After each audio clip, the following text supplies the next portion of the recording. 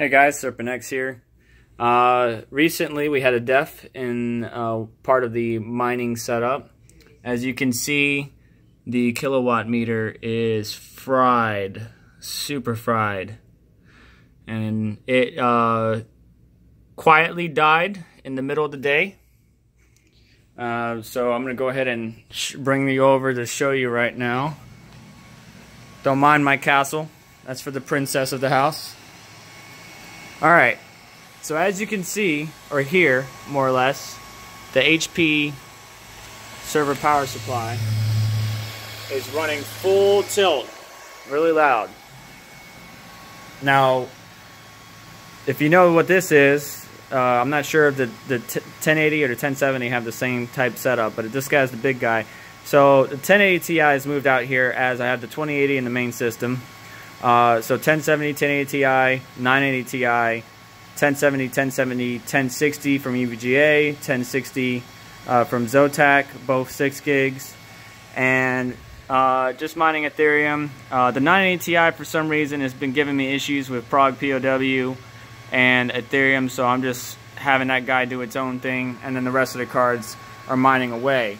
Now, before that Kill A Watt meter decided to go kaput, um, basically I was pulling around 1100 watts. I would say like 1080, 1050, somewhere in there. Uh, so it was running good. Everything was fine. And then all of a sudden, everything was off. Not a pop, not a fire, not anything, just everything was off. And I rather prefer it that way because some people say they, they you know, seen it catch fire and stuff like that. I went back, I checked everything. And when I took this guy apart, as you can see, that thing is pretty toasty.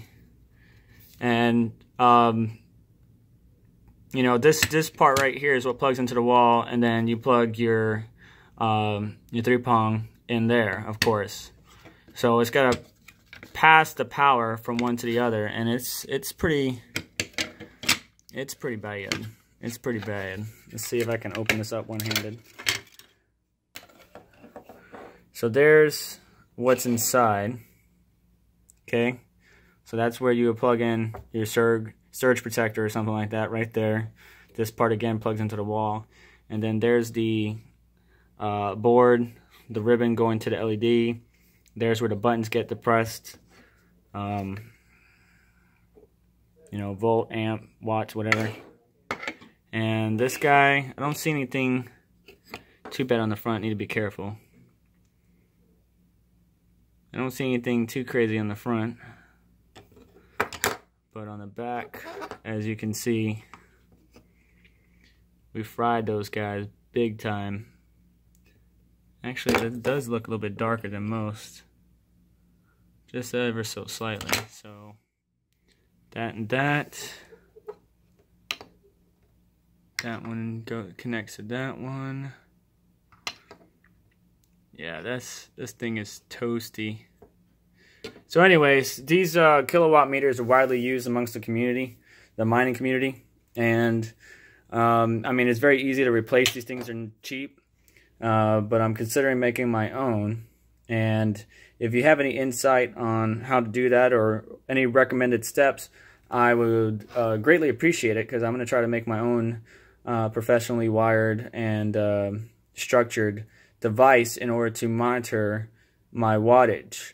Uh, software, you know, you can easily, you know, use software like HWiNFO to monitor it, but I don't trust it, and I don't think you should either. If you're using software to monitor your your your wattage, you're not really getting the actual wattage your system is pulling because you got to account for all kinds of variables, including CPU, memory, system, motherboard, fans, all that good stuff.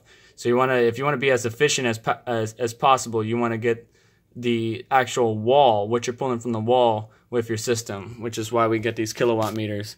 But I'm probably going to get a better one for now, just to hold me over, and then maybe look into building my own later on. But that's uh, pretty much it for today, guys. Nothing too much. Uh, wanted to share this with you, warn you, whatever you would consider this, and uh, let you know so you can avoid this or be careful. But people have mentioned that these things have caught fire, popped, blew up, and not blew up in a big way, but blew up in a small way. uh, you know, can cause damage to the wall and, and anything nearby that outlet when it does do that.